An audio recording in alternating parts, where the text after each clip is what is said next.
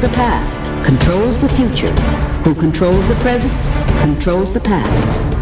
The death of bin Laden marks the most significant achievement to date in our nation's effort to defeat Al Qaeda. All you got to do is start looking around, start thinking for yourself, start investigating things, and you will see it all right there. So you have the power. Humanity has the power. We have the power. Do you want to fight? You better believe you got one. Let us never tolerate outrageous conspiracy theories. As for me, give me liberty or give me death!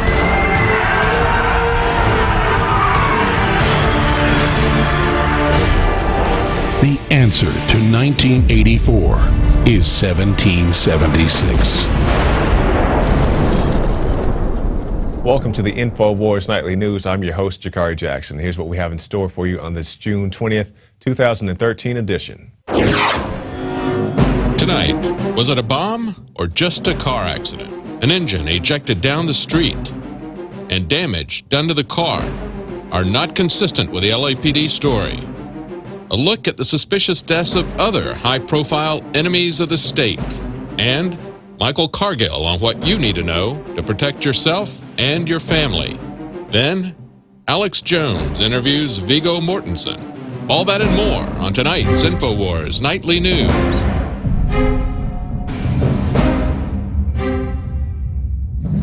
And welcome back. Top story headline Evidence indicates Michael Hastings was assassinated. Now, this is something that was talked about on the Alex Jones radio show, and we'll show you those clips in just one moment. But let's go to the article first. For all normal reasons, which account for virtually all car fires in modern cars, the fire would have started when the engine comp- compartment progressed slowly down and scorched the hell out of the paint before ever reaching the gas tank. And keep in mind, the damage done to the car was not consistent with the LAPD story. We'll go on. Whenever I'd been reporting around groups of dudes whose kind of job was to kill people, one of them would usually mention that they were going to kill me, said Hastings. Now, as I alluded to earlier, Alex Jones and David Knight talked about this at great length on the Alex Jones radio show, so here's their in depth report.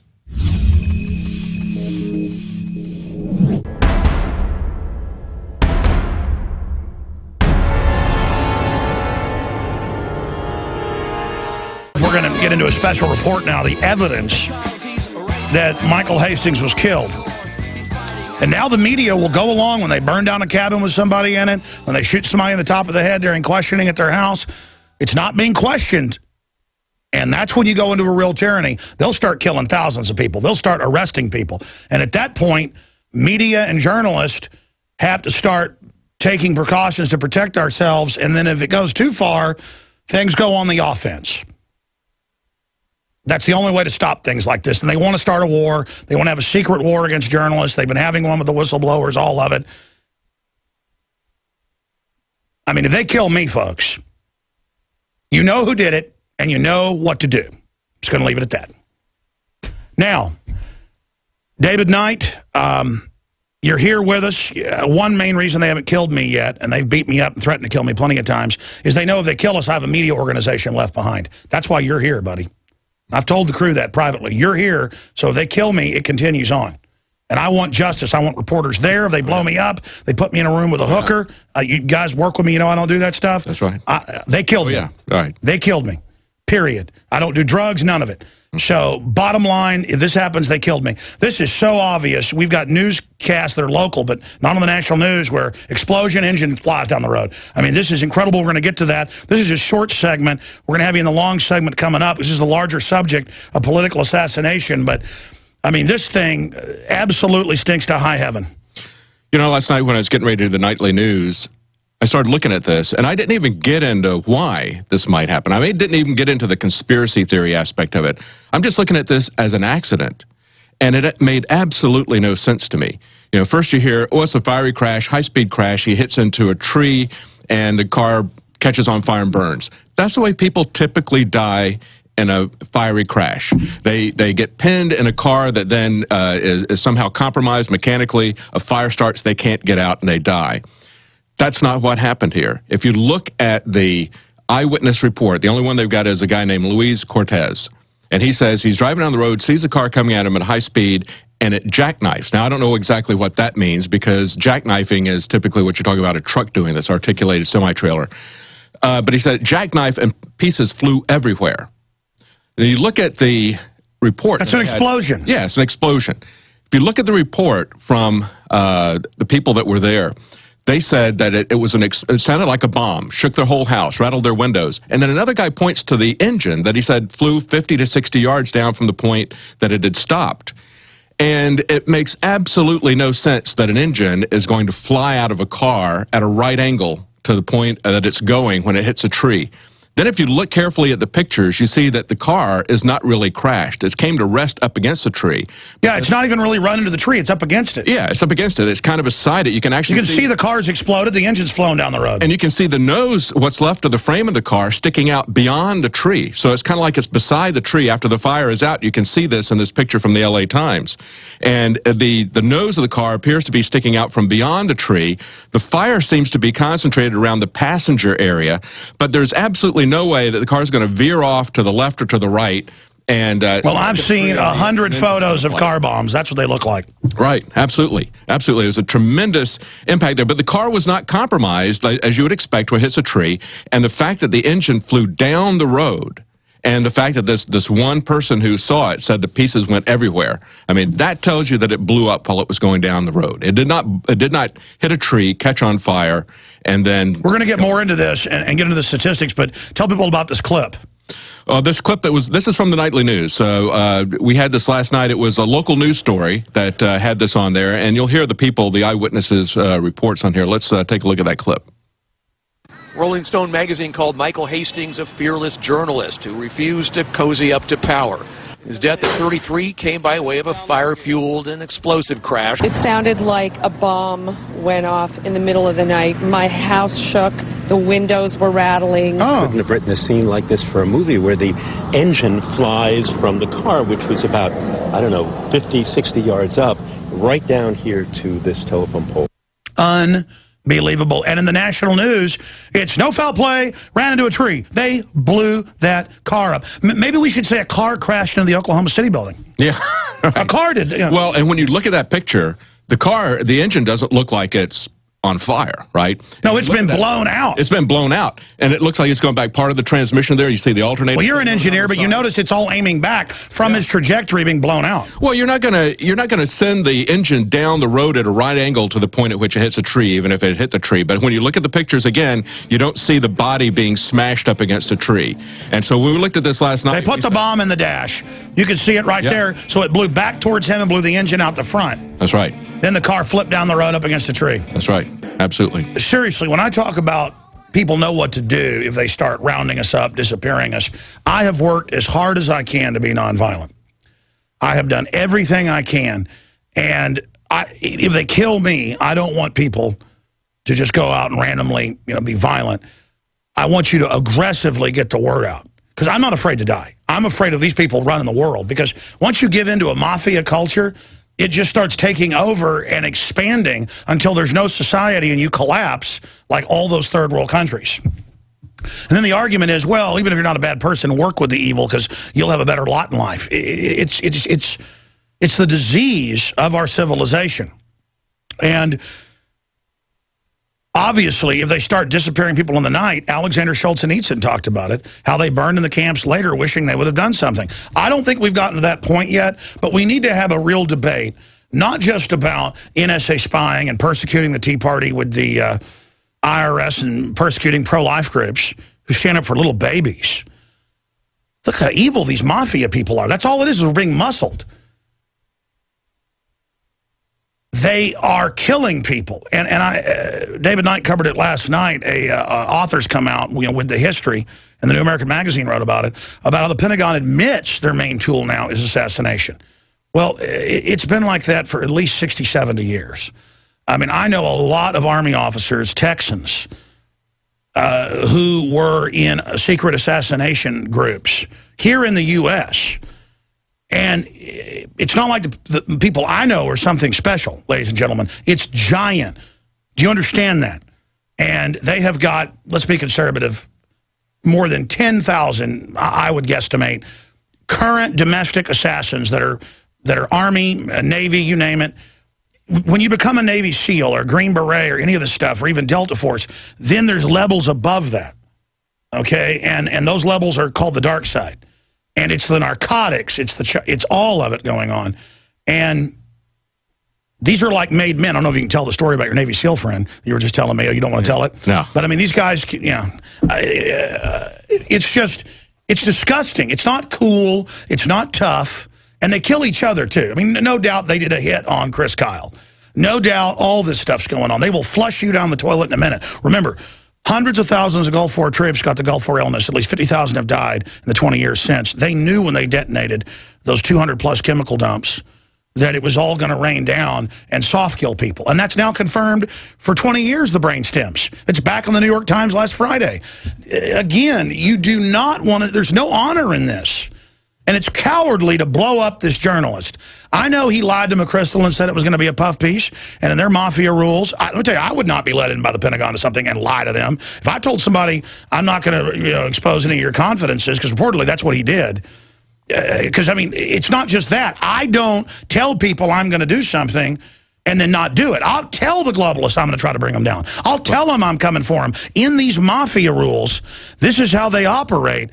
I'm telling you, you mess with their families or you work with them and then lie to them. And that's what Hastings did. You're free game. Now, I'm not saying it's good they blew him up, but it's another issue here. If they can burn down somebody in a cabin, say they did it and then not get in trouble, and they can say that they're, uh, you know, going to kill people and blow them up and people see a bomb go off and kill Pat Tillman and kill and then kill five members of Private Lynch's unit who said that she was cowering in fear, they went out and killed them. And I told Lynch through channels, I said, you better go public and say it was all a lie. They'll kill you next, like Pat Tillman. She went public and said it was all a lie. That's the only reason she's still alive, folks. This is how they operate. You mean nothing to them, okay? Now, uh, you've got the floor. Break all this down. Go over the history of it, what we're facing, and then that... Uh, well, Alex, like you were just talking about, the L.A. police, what they said in the uh, case of Chris Dorner, and how they were caught even you could hear the transcripts, the audio, the audio of uh, the police talking to each other saying, burn it down. They still denied that they burned it down. In this particular incident, we've got the LA Police Department, same police department, saying the engine's location is evidence that the driver was, quote, hauling Irish ass and lost control, unquote. And with the engine torn off, the gas lines would rupture and it would start a fire. Now, the engine's not going to go flying no matter how fast you go in a new Mercedes. The engine is and parts are not going to go flying. It's everywhere. bolted in, right? It's ab- oh, yeah. I mean, this is not some old rusting Hulk with the engine mounts about to come off. This is a new Mercedes. And look, I flipped a truck doing 80 before, and the engine didn't come out. Right. Rolled it three times. Right. And and so the the but they want to say you know they've got a couple of different uh, narratives here. One of them is that it crashes into the tree, catches fire, but then you've got this engine hurled down the road, and they say, oh yeah, well the engine hurled down the road is evidence that that's how the fire would have started. But you can't hurl the engine down at a right angle to the point of impact. And if the engine hurls down the road as he's going down the road, it's an explosion. So you have the witnesses saying, boom, it woke them up, shook their houses. Right, right. This is a very rare occurrence, too. As we are pointing out, in FEMA, uh, uh, Department of Homeland Security, they were talking about highway vehicle fires, and there's about a quarter of a million of them a year Typically, nothing happens. Only in about 2% of these do you have a fatality. Actually, the actual number is 2.6%.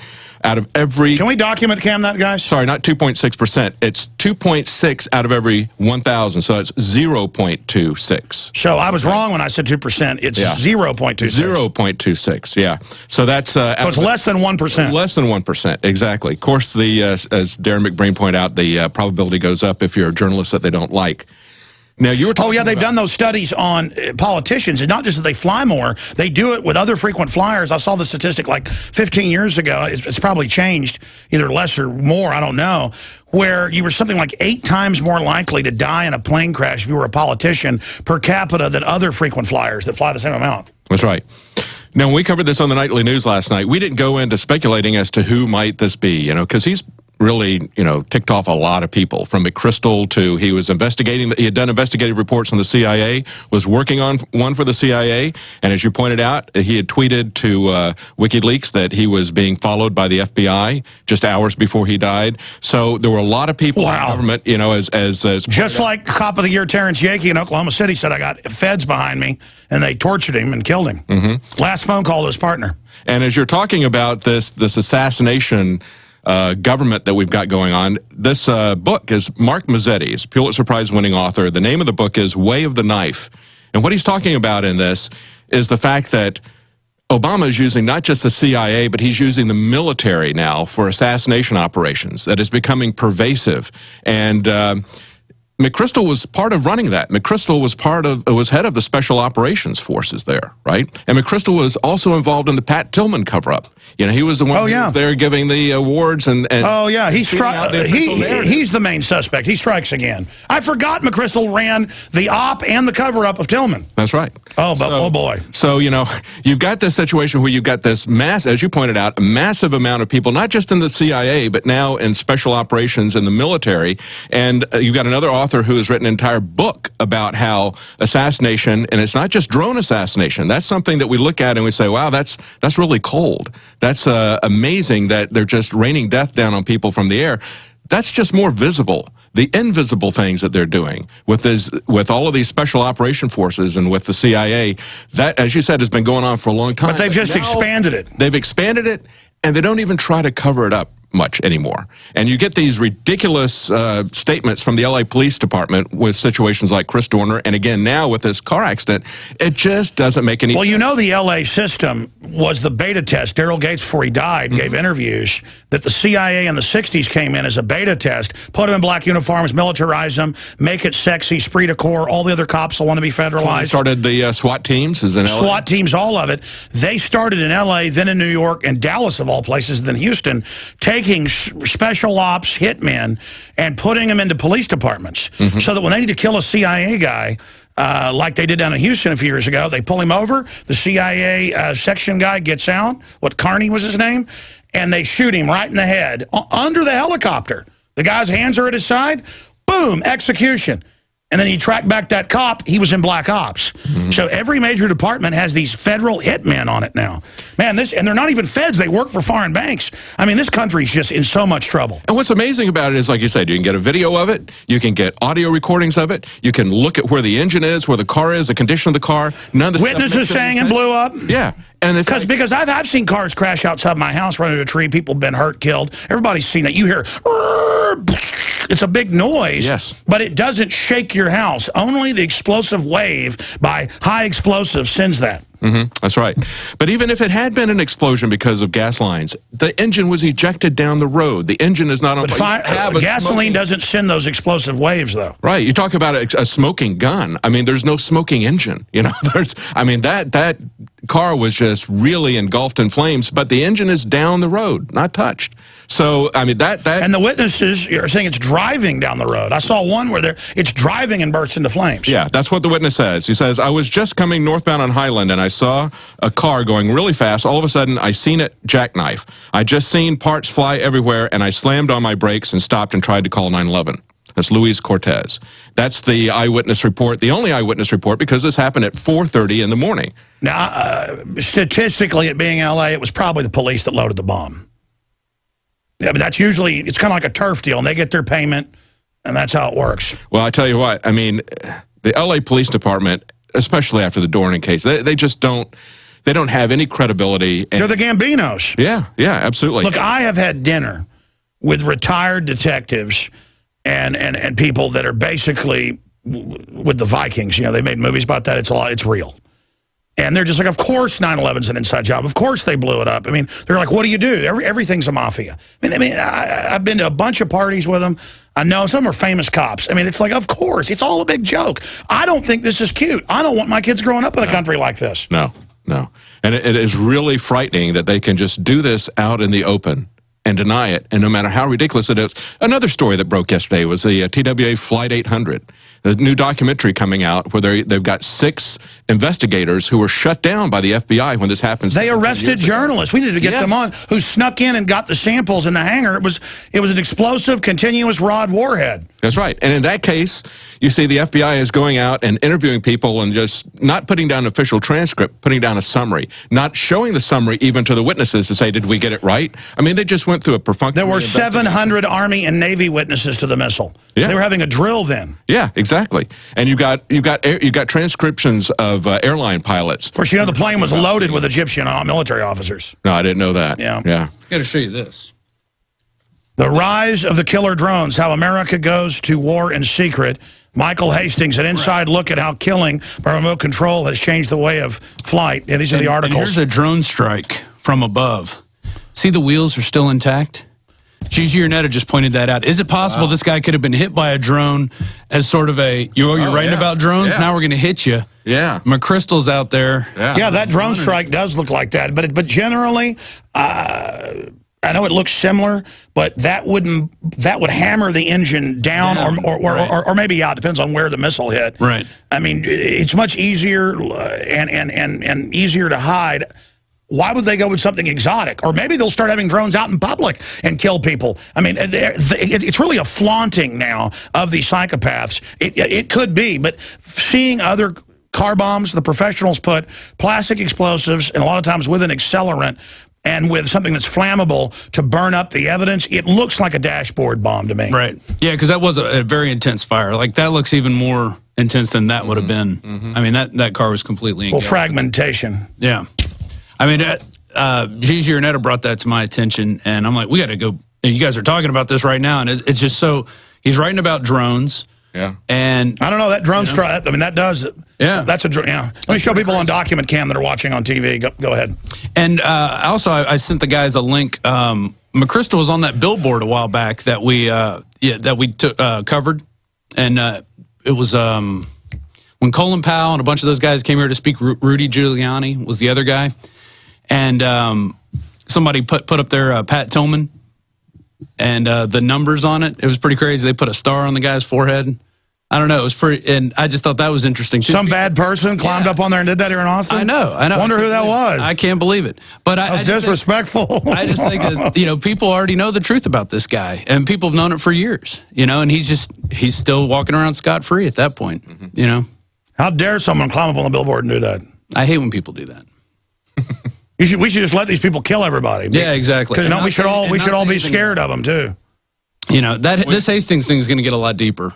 Definitely. Well, I don't even think they care now. I mean, uh, maybe they. didn't.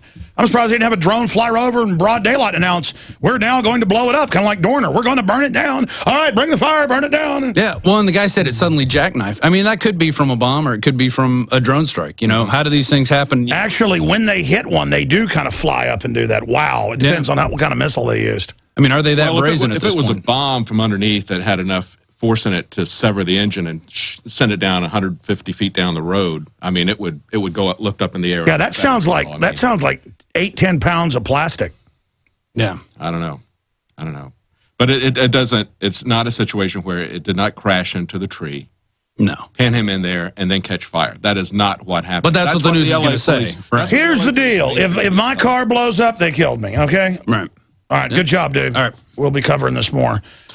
Well, one other thing from McChrystal is uh, you, you may remember he was also a big proponent of the universal service. You know, so in spite of his criticisms of Obama that were reported by Michael Hastings that caused him to get fired, he really loves Obama's programs, right? He loves national service and he hates citizens having weapons. You know, he made the rounds of all the talk shows. He's an anti-gunner. He's a real authoritarian. oh yeah, and he was talking about Better not talk too bad about him. I'll end up like Pat Tillman. so why do why do you want to have to have um, military weapons? And what he would talk about would be the velocity of the bullet. He wasn't talking about the fact that Homeland Security is getting hollow point bullets, which are far more destructive to people. Uh, you know, but he was talking about oh, these military bullets they travel this speed. You don't need that. And it's like the speed of the bullet doesn't. But these guys are a gun. such gangsters, illegally spying on us. And, and Alexander, the head of the NSA, says, hey, I'm going to meet with the FBI director and I'll owe him a frickin' beer. I mean, it's all Mm-hmm. just, there's just such a bunch of goons. Yeah, yeah. But they is- will destroy this country if they're able to. Yeah. It's just amazing to me, as I said, when I look at this, how the media is just falling in lockstep with this official narrative. And you can see the pictures, even that the media puts there, that contradict what they're saying. And they still go along with this. LA Well, that's always the evidence. Is they're immediately no foul play, ran into a tree, Yeah. and then witnesses all say the opposite. Yeah. Yeah. And again, he tells WikiLeaks, I'm being followed by the FBI. I gotta, I gotta get this out quick. Uh, uh, uh. I mean, it'd be like, the government's following me. Oh, my car blows up. It's like, oh, nothing to see here. Go on to sleep. and, and I mean, will the media stand up, you, you prostitutes of the globalist, shelling out your families, even as they kill you?